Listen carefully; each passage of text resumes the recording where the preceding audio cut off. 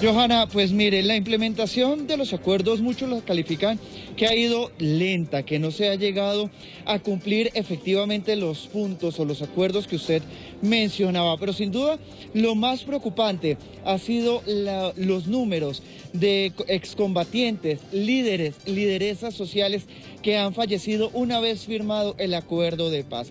El gobierno nacional asegura que ha buscado proteger estas zonas donde hoy están eh, asentados los excombatientes y principalmente donde están llevando esos proyectos productivos que le están permitiendo salir adelante y volver a la vida civil en un 100%. Mientras tanto, eh, hay otros puntos a favor. Por ejemplo, la justicia. Si bien todavía no se han dado penas contundentes, sí han llegado muchos sectores a espacios como la Comisión de la Verdad o la JEP, donde poco a poco se ha conocido nuevos casos, nuevas verdades sobre el conflicto colombiano. Salvar vidas. Esa era una de las principales premisas con el fin del conflicto con las FARC. Sin embargo, cinco años después, el panorama para esta población no es la mejor. Solo en el año 2021, 37 excombatientes han perdido la vida o están desaparecidos. A estas cifras se le suman las de los 124 líderes y lideresas sociales en esas mismas condiciones, según Indepaz. Muy grave la situación, de, sobre todo de excombatientes. Son 286, eh, según otras cifras, más de 290 excombatientes asesinados después de haber firmado el acuerdo de paz. Y, eso ha ido creciendo. Lo grave es que la tendencia no es a que eso se eh, desacelere. La postura que se ha dado, que se dio incluso desde el gobierno de Juan Manuel Santos y que se mantiene, un poco de minimizar el problema. Es decir, decir son líos de faldas, son, líos, son problemas aislados, son problemas personales, puede, que puede que, que, se lo, que lo sean, pero el problema no es si lo son o no, el problema es que como Estado tenemos que garantizar la seguridad de estas personas. A pesar de estas críticas, el gobierno Duque asegura que durante su mandato los refuerzos para la protección e inversión social de los excombatientes ha aumentado considerablemente.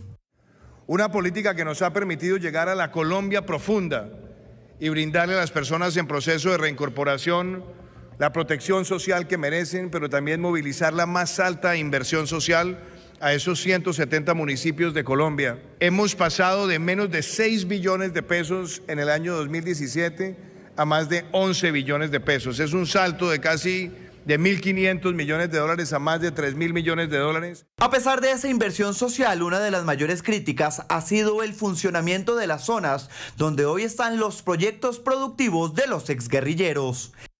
Allí hay problemas, hay diseños que no estuvieron completos, hay vacíos, no ha habido solucionar los problemas de tierras, a los problemas de proyectos productivos, a la integración política, pero eh, allí ha habido un énfasis por parte del gobierno que es reconocido por la comunidad internacional, por el Instituto Kroc. Entonces vemos ETCRs marchando a media marcha, proyectos productivos que han salido, pero hay otros que han sido como que se han quedado bastante estancados entonces sí se puede decir que la implementación pues ha sido bastante limitada. Para los expertos, la búsqueda de la verdad es uno de los mayores puntos a resaltar. Diferentes sectores, por ejemplo, han decidido ir a, a la JEP en lugar de a la justicia ordinaria. Diferentes sectores, incluyendo el mismo expresidente Álvaro Uribe, han pasado por la Comisión de la Verdad entonces, en ese sentido, tal vez es de los puntos que más atención por parte de la sociedad, atención mediática han recibido y donde más avances y controversias también ha habido durante este tiempo. Pero la responsabilidad de estos acuerdos no recae solo en el gobierno nacional. Actos como este. Salud por el mono, camaradas. Salud. Por la revolución. Por la revolución y que viva Colombia. Aún ponen en duda el compromiso total de las extintas FARC.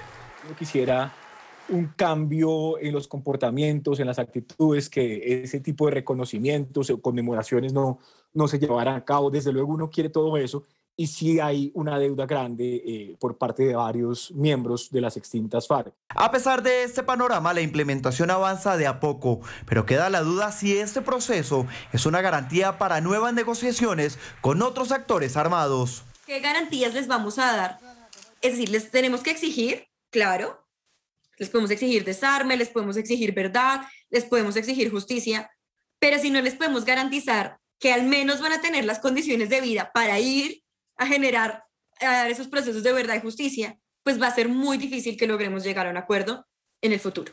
Como darle un portazo a la posibilidad de una negociación como se ha venido haciendo, me parece que es la estrategia incorrecta y más bien deberíamos enfilar esos esfuerzos a entender qué tipo de negociación funcionaría con una organización armada completamente diferente a lo que es la estructura de las FARC. Cinco años después, la implementación de esta hoja de ruta que estaba destinada a un plazo de 15 años se podría demorar hasta 26, según la Contraloría General de la Nación. Esto por las demoras en la implementación, en las inversiones y en el destino de los recursos. Una vez que se empezó a implementar los acuerdos de paz, empezaron a salir aquellos detractores que no quisieron continuar con el proceso, principalmente por parte de las FARC. Y justamente ahí empezó un nuevo conflicto en el país. Y es que ahora las denominadas disidencias de las FARC están tratando de abarcar nuevos territorios que dejaron la exguerrilla que firmó el acuerdo. Uno de los principales puntos del acuerdo de paz era la entrega de armas y desmovilizaciones de los guerrilleros. ¿Están preparados para pedir perdón si esa es una cuestión innegociable? ¿De qué dices, Andrés? Quizás, quizás, quizás. Aunque buena parte de la estructura armada de las FARC se reincorporó a la vida civil y se acogió a lo pactado en La Habana, otra buena porción volvió a la lucha insurgente y otros cuantos incluso jamás la dejaron. Hoy estamos viviendo son conflictos por portafolios de economía ilegal. Quiere decir, estos grupos están disputando las rentas criminales del narcotráfico, la minería ilegal, el tráfico ilegal de combustibles, el tráfico tráfico de madera, secuestro, extorsión, cualquier tipo de delito. Actualmente las denominadas disidencias de las FARC han ganado terreno, sin embargo son dos los principales grupos conformados por los ex-FARC. Segunda Marquetalia. Anunciamos al mundo que ha comenzado la Segunda Marquetalia bajo el amparo del derecho universal que asiste a todos los pueblos del mundo de levantarse en armas contra la opresión. Con este video, en agosto del 2019, los acuerdos de La Habana sufrieron uno de los golpes más duros desde su firma. Iván Márquez, Jesús Santrich, El Paisa, Romaña y otros 17 comandantes y mandos medios de las extintas FARC anunciaban su regreso a la clandestinidad y sobre todo a su supuesta lucha armada, a pesar de haber estado sentados en su mayoría en la mesa de negociaciones. Sin embargo, para los expertos, el negocio del narcotráfico sería su principal motivación. Yo creo que la clave va a estar, y de pronto los estudios en años posteriores nos darán la razón, en las ganancias que genera el narcotráfico y que genera el narcotráfico teniendo un gobierno aliado como el gobierno de Nicolás Maduro en Venezuela. Es muy poco probable que ellos eh, pues realmente vayan a tener eh, una ideología política, realmente pues están es allí tramitando negocios eh, asociados con las economías ilegales. El video se dio a conocer el 29 de agosto del 2019, meses después de que Jesús Santrich huyera de la justicia por una investigación en su contra por nexos con el narcotráfico posterior a la firma de paz. Dos años después, la segunda Marquetalia aún no se ha convertido en el mayor actor armado del país sin embargo, la organización liderada por Márquez tiene fuerte presencia en departamentos como Nariño, Cauca, Antioquia, Casanare, Bichada y Arauca. Disidencias del extinto bloque oriental. Ahora pretenden autoproclamarse en verdaderos revolucionarios cuando sus actos hacia quienes quedamos en resistencia armada no ha sido otra que la calumnia, el engaño y la traición. Quien arremete contra la segunda Marquetalia es alias Gentil Duarte. Este guerrillero ha logrado captar un mayor número de combatientes. En 2016 se apartó de las conversaciones en La Habana a pesar de haber sido negociador y ha aprovechado estos cinco años para reforzar la primera línea de narcotraficantes. Según inteligencia militar, al igual que la segunda Marquetalia, sus operaciones base las comandaría desde la frontera con Venezuela. Hoy el conflicto está recostado en las fronteras, principalmente frontera con colombo-venezolana y colombo-ecuatoriana. Hoy podemos decir que la paz sirvió porque se deja atrás una, un periodo de la violencia, la violencia política, la estamos dejando atrás. Este panorama armamentista igual preocupa a los expertos. Entonces, ese conjunto, eh, esas dos vertientes, disidencias y residuales, pues se han recompuesto. Hay diferentes cálculos, pero se, se habla entre 3.000 500 y 4.000 efectivos armados, que es una cifra, eh, la mayor parte de ellos nuevos reclutamientos, pero que es una cifra grande.